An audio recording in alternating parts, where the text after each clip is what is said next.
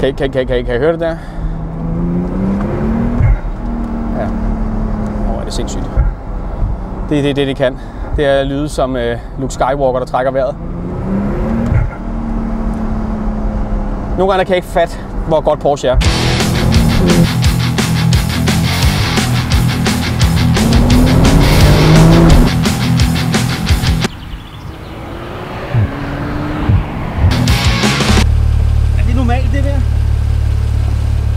hvor er det sygt. Fuck, hvor er det sindssygt, det der. Fuldstændig vanvittigt. Shit! Nu spørger jeg bare meget indiskret og direkte her, men hvilken diagnose har kunden, som stiller op på Ulrik Valder Rasmussens kontor og beder ham om at bestille den dyreste 911 i det almindelige 911 lineup, og så vælger den i samme farve som en solsort snæb. Hvad er det for nogle issues, man har?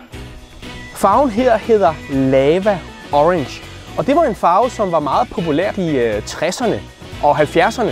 Men den udgik i 78 sammen med øh, sirutter og cornflakeskyllinger. Simpelthen fordi, at øh, folk fik lidt bedre stil. Men Porsche har genintroduceret den nu.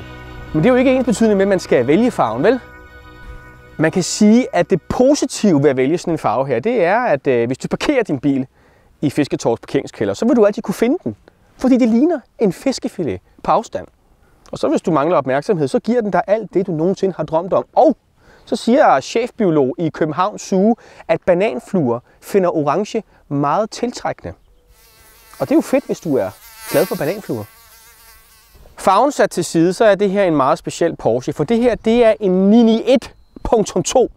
Det vil sige, det er den sidste generation af 991'eren, før Porsche kom med deres mere digitaliserede og amerikaniserede 992'er. Den gamle Porsche, eller generation 1 af 991'eren, den havde øh, 560 hestekræfter, hvilket er meget. Den her har så fået 20 hestekræfter til. Det har der ikke været brug for, men det gør, at vi er oppe på 580 hestekræfter. I en bil, som er kendt for at have den bedste traction af nogle biler i verden. Og det vil sige, at du kan bruge alle 580 hestekræfter på en launch control. Det er så hurtigt, som du kan gøre det. 080. Hold. Shit. Det er decideret ubehageligt, simlende, tunnelsynsagtigt. Det er ikke det, vi mennesker er skabt til fra Guds side og accelerere så hurtigt. Det er derfor, der sker mange uheld. Fordi folk får hjerneblødninger og mister åndedrættet og sådan noget der. Det, jeg forstår ikke helt, hvad det er, man vil. Men det kan den altså. Det her bliver måske en lille smule teknisk, men det er meget interessant, fordi den her bil, den kommer med noget, der hedder en Dynamic Boost funktion. Og det vil sige, at fordi bilen har turboer, så hvis man ikke hele tiden er på speederen, så vil den selvfølgelig miste sit ladetryk en gang imellem. Men Dynamic Boost funktionen sørger for, at den aldrig nogensinde mister ladetrykket, selvom du løfter foden en lille smule fra speederen. Hvordan det fungerer, det ved jeg ikke, der sidder en heks bag i. Men det vil sige, at der er altid tryk på tingene. Det er fedt. Og så er der min absolute favoritting herinde. Normalt på sådan nogle high-end sportsbiler her, så har du selvfølgelig dine forskellige driving modes. Ikke? Det kender vi alle sammen. Men inde i det her driver mode, så er der en lille knap her. Det er ligesom Nicolas Cage i uh, Gone in 60 Seconds. Og det er en sport response knap. Ligger du og keder dig, og det er lige meget hvilken mode du er i, så kan du trykke på den her, og i 20 sekunder, det kommer op her på displayet, så har du optimal boost optimal gearkastindstillinger. Alt er fuldstændig strammet op, så du er parat til at køre fra alt og alle. Men du har da kun 20 sekunder. Hvor, hvor, hvor, hvor, hvor, hvor sygt er det der? Sport response, man. I like it. Det, der er en lille smule ærgerligt, hvis I spørger mig, det er, at jeg godt kunne tænke mig at se på mit motorrum, når jeg har givet øh, 5 millioner kroner for en bil. Men øh, Porsche vil ikke rigtig have, at man kigger på noget eller rører noget. Så det eneste, man kan se, det er sådan to ventilatorer, og så står der 3,8 liters. Og så kan du godt putte olie på den, hvis du kan finde ud af det. Det er det. Men øh, I skal lige høre. Motoren er som sagt en 3,8 liters. Det var den også på den anden, men den er jo selvfølgelig hævet til de der 580 hestekræfter. Og det har Porsche gjort ved at modificere luftindsugning i topstykket. Det har givet nye indsprøjtningsdyser og et endnu højere brændstofstryk. Det er ting, som jeg ikke har forstand på, og det er også bare noget, jeg læser op. Men det er det, der sker. Yes, 991.2 har fået facelift. Den har fået de her meget kendte Porsche-lygter her, som er flotte. Og så har den fået øh, aktiv aerodynamik. Det vil sige, at øh, der er ting, der bevæger sig hernede under, når du kører. For eksempel det der. Jeg ved ikke, om det gør nogen forskel, men altså, jeg tror, de har styr på det nede hos Porsche. Det er i hvert fald meget fedt at lige. Man kan åbne det manuelt også, hvis man gerne lige vil score en. Yes, den har også fået et lille øh, facelift bagpå. Det er ikke noget, som man lægger specielt meget mærke til. Det, det, det er fint. Men det, vi skal snakke om, det er den samlede præstationspakke her. Fordi Porsche, som er meget konservativ i deres udmeldinger, siger, at den er i stand til at, at, klare 0-100 på 2,9 sekunder. Jeg har set det blive gjort på 2,6. Og så kan den køre 330 km i timen. Den siger, at køre 340. Jeg laver mange øh, bilreviews. Det vil sige, jeg laver meget af det samme. Men Søren Kierkegaard, han sagde, at man skulle lære at se det smukke i gentagelsen. Så selvom din kone er irriterende, og selvom du hader at spise havregryn, så bare, så bare gør det hele tiden, for det, det, det er nok meget godt. Man skal bare forstå det. Det er i hvert fald fedt nok at lave det her hele tiden. Det siger jeg bare. Jeg kører i så mange af folks dyre og meget øh, sarte biler, som øh, koster en milliard kroner, som har en milliard hestekræfter. Og så kommer man ud i en Turbo S, og så er det bare sådan det bedste, man nogensinde har prøvet. Altså, lyder den virkelig? Jeg havde glemt, at de lød sådan her. Jeg havde glemt, at de lød sådan der. Ja, en lille fugl, der sidder bag i.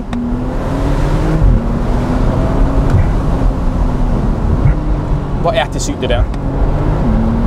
Før vi laver en lydtest af den her Porsche her, så er det vigtigt, at I forstår, at 911 turboer, de siger ikke noget.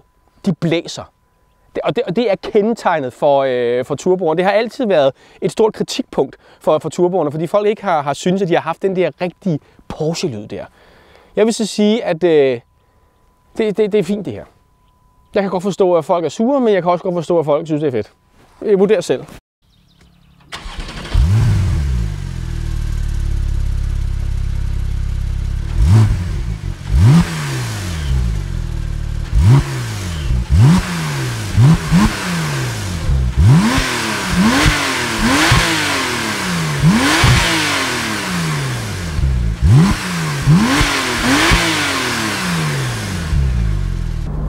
Det er så rigtigt.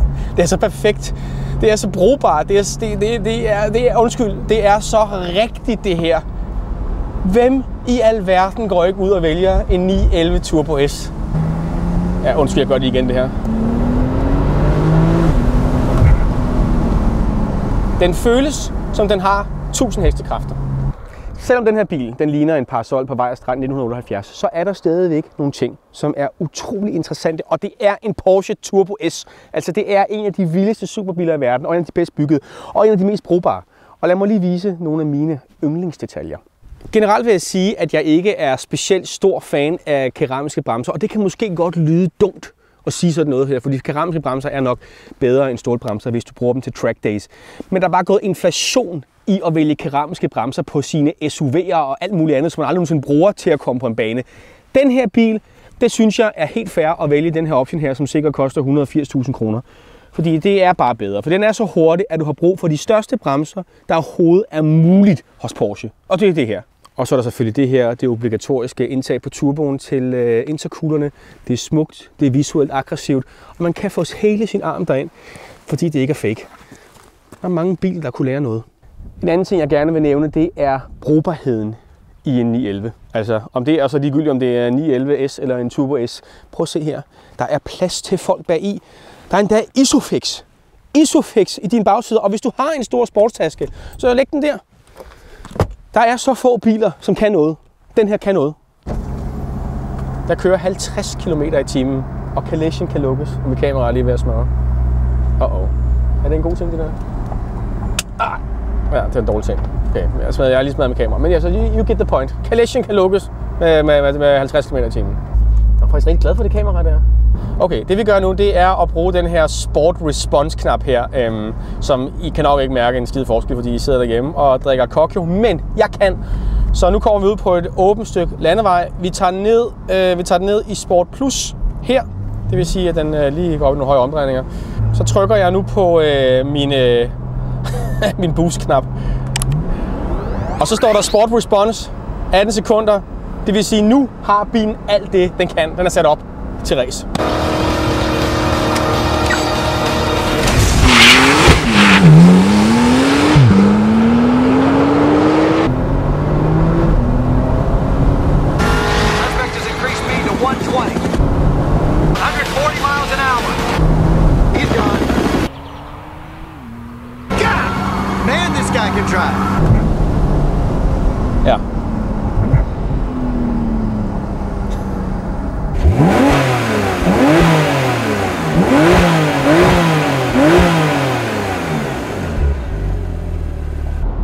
Det, der også er værd at lige at nævne, det er jo, at den føles, seriously, den føles som, okay, jeg skal lige have den i sport, fordi så bliver det lidt mere tight. Den føles seriøst, som om, at det var en lille øh, go-kart det her. Altså sådan en lille Lotus Caterham-agtig et eller andet der. Men i virkeligheden, der har den faktisk vægten imod sig. Den vejer 1600 kilo. Det er ikke lidt. Det er heller ikke meget. Det er bare sådan, det, det er lidt mere, end du ville være forventet. Ikke? Men det har jo også noget at gøre med, at det er helt. Men Porsche har, har formået at gøre den så let på tog. Hvorfor, hvorfor er det her ikke den bedste bil i verden? Det kan jeg slet ikke forstå. Ja, jeg synes også ret er ret fedt. Helt vildt. Altså det her det er taget ud fra Porsches 918 Spyder, øhm, næsten i hvert fald. Det er 360 mm i diameter, og så har der den her Alcantara-hinde, som bare øh, giver dig perfekt greb. Altså det, det er lækkert at røre på. Som et varmt inderlår, du. Bilen har selvfølgelig også den her kronopakke her, som, ja, der kan, du, der kan du måle dine lap times. Du kan simpelthen gå ind i det her Porsche Control Management system, og så kan du sætte den til at måle en god omrømme på Nürburgringen. Nürburgringen. Nürburgring. Nürburg. Nürburg. Nürburg. Hvad er det, det hedder? Din midterkonsol er ikke så interessant. Du har traction control, øh, start-stop. Øh, du har muligheden for manuelt at, at, at hejse dine spoiler foran og bagved. Og så har du også muligheden for at sætte din øh, affjedring i sport, så den bliver ekstra hård og ubehagelig at køre i. Altså en 911 Turbo S Cabriolet. Bare det der med, det en cabriolet, er seriøst noget af det dyreste, du kan få hos Porsche. Altså, det er klart, at går du over og køber en GT2, og så er det dyre, men at de der lidt mere normale, brugbare 911'ere, så er det det dyreste, du kan få. Altså, jeg tror, det er 4,5 million kroner uden options. Så, så, så, så ja. Vi, vi, vi, vi bevæger os op på 5,5 millioner kroner for sådan en bil her. Det er vanvittigt. Jeg vil lige sige, at det er 100% bevidst, at jeg har taget en øh, turbo med. Igen, nu lavede vi en video, en af de første Porsche Turbo i verden sidste weekend. En øh, 82, og det her det er sådan 2016. Men jeg vil bare lige sige, at kærligheden til det her brand her, altså fra, fra min side, ikke har ændret sig. Og det er meget sjældent, at en bil ligesom bevarer det der, det der unikum, som det havde, da den blev skabt. Altså, der er et eller andet, som bare er præcis det samme. Og det er jo også grunden til, at jeg personligt, nævner det igen, har en 911 Turbo, altså en 996'er. Fordi det bare er det bedste, ikke? Man skal altså være af en bestemt afstøbning for at synes, at det er en god idé at, øh, at købe sådan en her. I den her farve her. Det tager tid, men der, der er sikkert en eller anden, som også har en øh, orange sofa derhjemme, som gerne vil have sådan en her. Børnehavebørn, børnehavebørn, kør stille, kør stille. Det er umuligt at køre stille i sådan en her. Køre 20 km i timen, det er, det er meget hensynsfuldt. Vinker vi til børnene. Det er nemlig en racerbil. Nu ved jeg ikke, om man kan se en, øh, en, en, en dut herinde, men, men øh, jeg vil bare lige demonstrere, hvordan den her bil bare transfigurerer sig selv fra at være en, øh, altså, den sygeste bil, jeg har kørt, til at være den kedeligste bil, jeg har kørt. Det er meget, det er meget, meget imponerende. Altså, det, det er det. Altså, for det første, fordi Turbo S'eren er så dyr, så har du alt i udstyr. Mit alles, som folk siger, når de køber en Passat Mit alles. Altså, du har det her øh, nye infotainment-system der med Google Street View, og du har, altså, du har 12 højtalere, det er det der kæmpe store burmesteranlæg. Du, øh, der er varme i sæderne. Varme i sæderne og lane assist og, og, og active city stopper. alt det der, som man også får på en Ford Fiesta. Altså det hele. Se, der er både sikkerhed og sport response knap. Og så siger den ikke noget. Den siger ingenting. Man sidder godt. De her stole er de helt rigtige stole, fordi det ikke er sportsstolene. Det er bare almindelige stole. Dejligt. Hvis I ikke har forstået det nu, så står den her bil på lager til direkte levering. I skal ringe til Ulrik Walter Rasmussen. Det er Porsche-specialisten. Bilen har gået 48.746, er fra 2016 og kommer med Porsche Approved. Næste service er ved 73.000 eller et eller andet der, eller 2022, et eller andet, lige for lavet service. Porsche går i stykker alligevel. 080. Hold. Check.